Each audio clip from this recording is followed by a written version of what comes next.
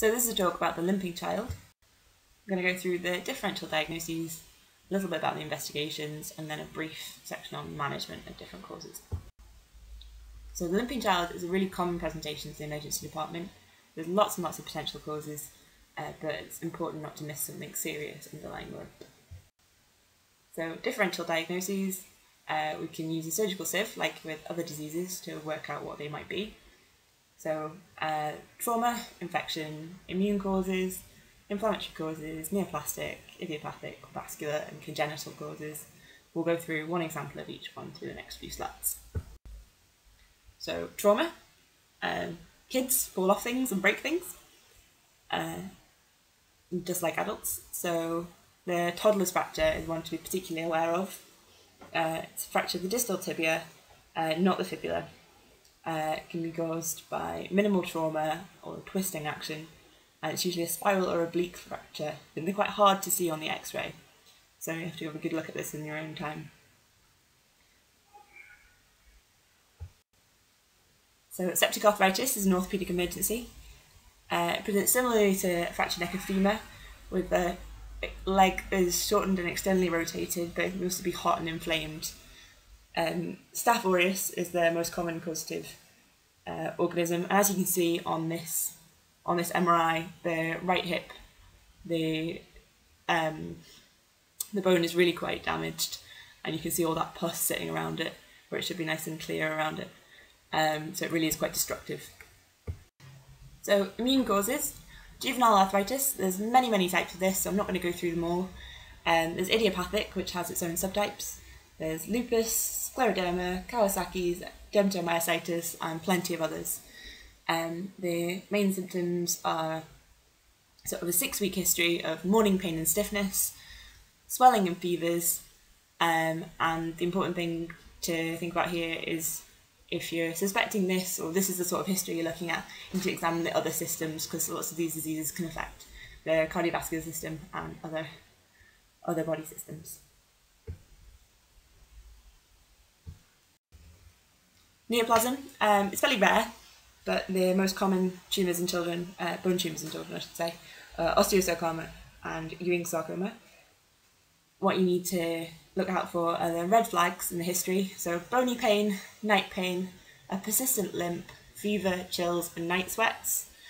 Um, pathological fractures can be caused by uh, either minimal trauma or no trauma at all, and you get disruption in the cortex. And you should also look at the X-ray for some periosteal reaction if you're at all suspicious. The uh, the outcomes are quite good. The five-year survival is quoted by the American Cancer Society as between 60 and 80% for a local tumour, but it's much, much worse than metastatic disease. So if you're the first person to see this child, you want to make sure you don't miss it. Vascular causes. Uh, Perthes disease is avascular necrosis of the femoral head. Um, it's usually self-limiting. Uh, young children uh, under six who get it do much better than older children. Um, as you can see on this x-ray, uh, the right hip, the femoral head just doesn't look quite right.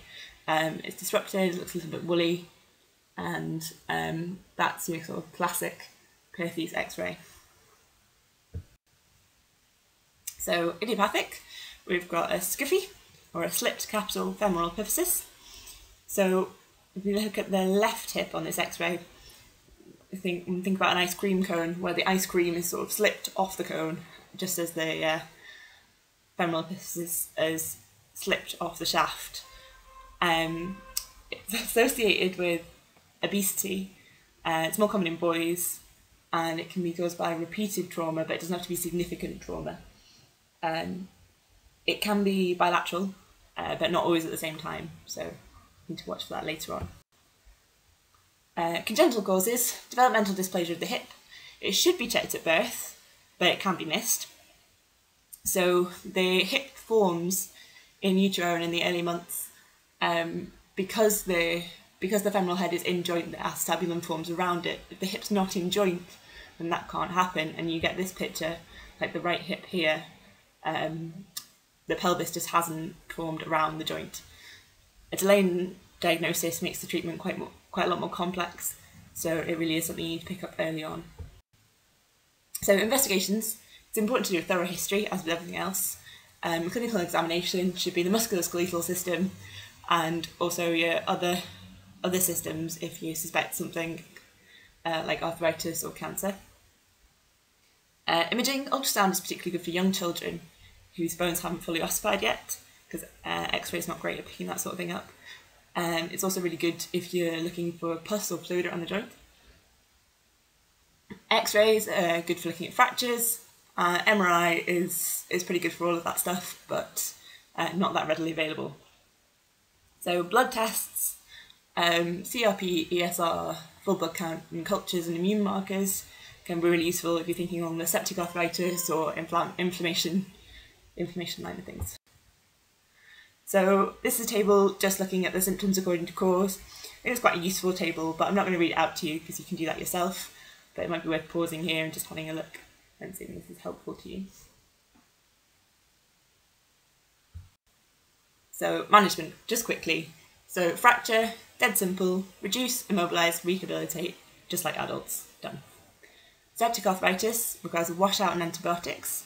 The antibiotics can be empirical or they can be from cultural sensitivities from a blood test or from the pus from the joint itself.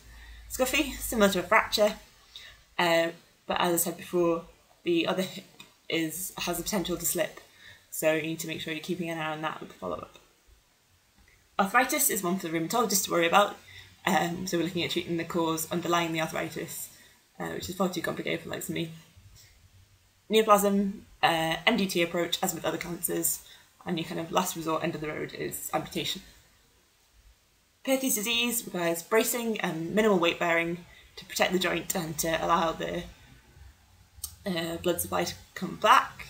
And DDH, so it's a sling if it's caught early on, it's a closed reduction with a spica cast if it's a bit later, and osteotomy to sort of rebuild the acetabulum if it's left too late. So, in summary, there are many causes of limp in children. There are a few important diagnoses to rule out, and a combination of history, examination, imaging, and blood tests can be used to identify the likely cause. And just a side note, it's not about limping children, but if you see a long bone fracture in a child who's not walking, you have to suspect abuse um, until it's proven otherwise.